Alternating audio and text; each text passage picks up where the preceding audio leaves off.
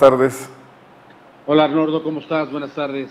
Bien, gracias. ¿Cómo, ¿Cómo evalúas la jornada electoral de ayer, las diferentes incidencias que se presentaron, Santiago?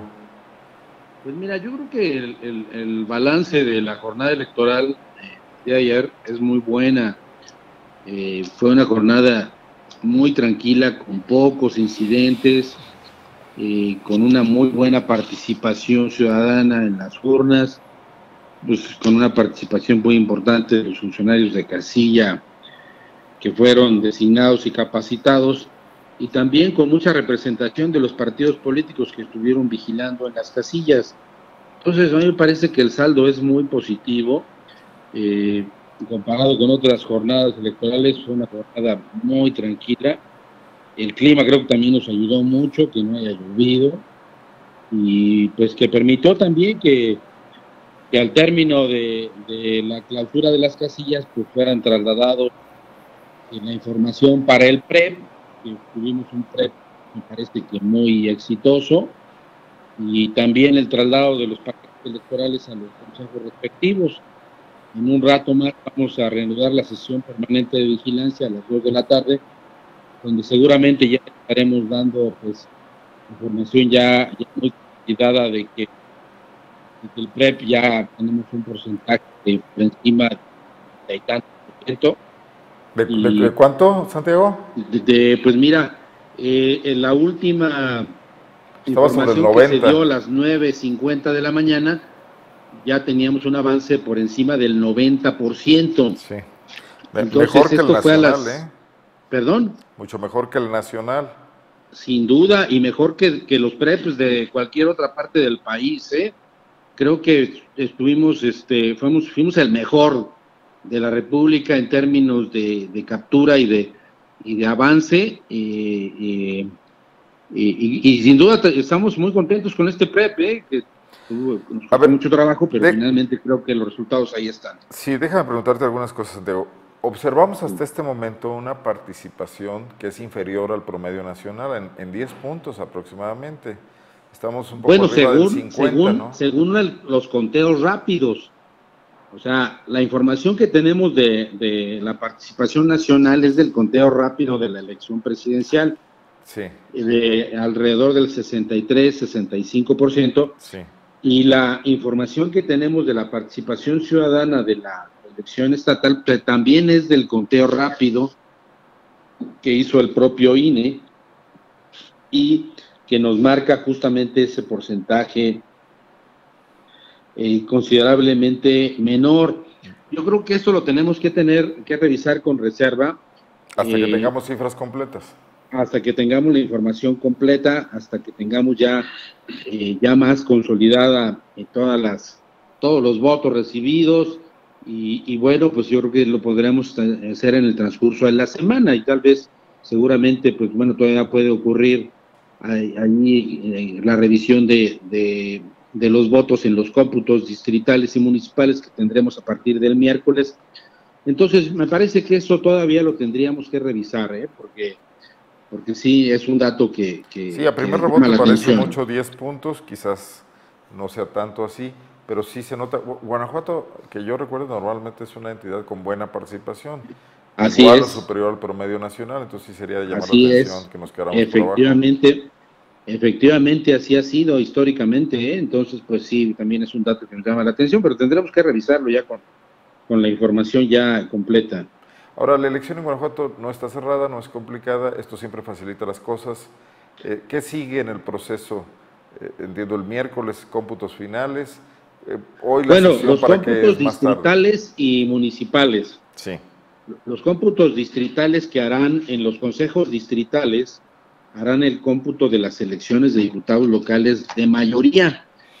Y ahí, al término de ese cómputo, pues entregarán la constancia de mayoría a la fórmula de candidatos que haya obtenido la mayoría en cada distrito. Pero además también hará el, el cómputo de la elección de gobernador, cómputo distrital de la elección de gobernador. Y nosotros, el Consejo General, haremos el cómputo estatal de la elección de gobernador el próximo domingo. Por otra parte, los consejos municipales harán el cómputo municipal de la elección respectiva de, ayuntamientos y al término del mismo, pues bueno, también entregarán la constancia de mayoría a la planilla eh, ganadora, bueno, al candidato a presidente o presidenta municipal y síndico o síndicos que se eligen por mayoría. Entregarán las constancias de mayoría a, las fórmulas que hayan logrado la mayoría de votos en cada municipio y posteriormente también harán la asignación de regidores. En esa misma jornada. Eh, en esa misma, eh, en esa misma sesión. El domingo. Al término de los cómputos municipales, una vez que entregan las constancias de mayoría al candidato o candidatas a la presidencia municipal y síndico o síndicos según el municipio, posteriormente harán la asignación de los regidores de acuerdo a la proporción de los votos que cada partido haya obtenido en cada municipio. Eso también se hace al término de esa sesión eh, de cómputo municipal. Y también mañana, mañana sesionarán en mesa de trabajo los consejos distritales y municipales para revisar en cada caso los escenarios de recuento que pudieran presentarse para la sesión del miércoles. Ahí la ley prevé pues algunos supuestos donde se tendría que recontar de manera parcial o total eh, la elección. Eso se hará el día de mañana. Entonces, ¿Ves esa posibilidad? En algún caso pues, de los en algunos, en algunos, de acuerdo a los resultados del PREP, eh, tenemos algunas elecciones eh, municipales que sí hay ahí aparentemente una, una disputa muy cercana entre dos y en algunos casos hasta tres candidaturas que están muy parejas. Esos escenarios es probable en esos casos y tal vez en uno o dos eh, distritos de mayoría. Pero se, eh, por rey pues se tiene que hacer la revisión mañana para prever estos escenarios en la sesión del miércoles. Eso también se tendría que hacer el, a partir del miércoles. La, asignación de diputados plurinominales ocurrirá hasta el próximo domingo, cuando se no, el Consejo No, no esa, esa asignación tiene que esperar.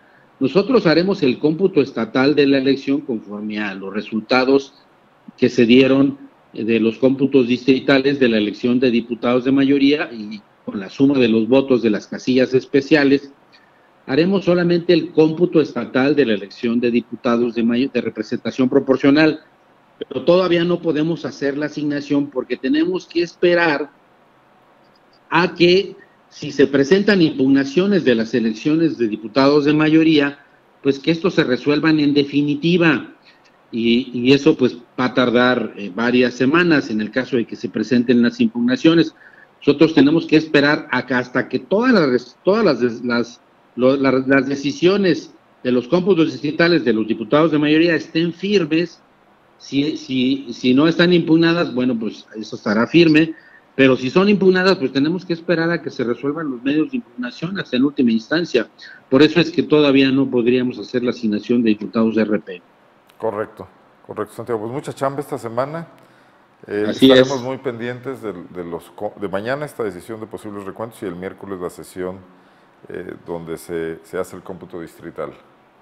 Y nosotros también el domingo en, el cómputo estatal de la elección de gobernador, también eh, eh, haremos la entrega de la constancia de mayoría al candidato que obtenga la mayoría de votos de la elección de la gobernatura. Eso sí se hace el próximo domingo. Eso sí se hace el próximo domingo, así es. Muy bien. ¿Algo que agregar, Santiago? ¿Algo que consideres pues que es importante que sepan eh, los ciudadanos que participaron ayer?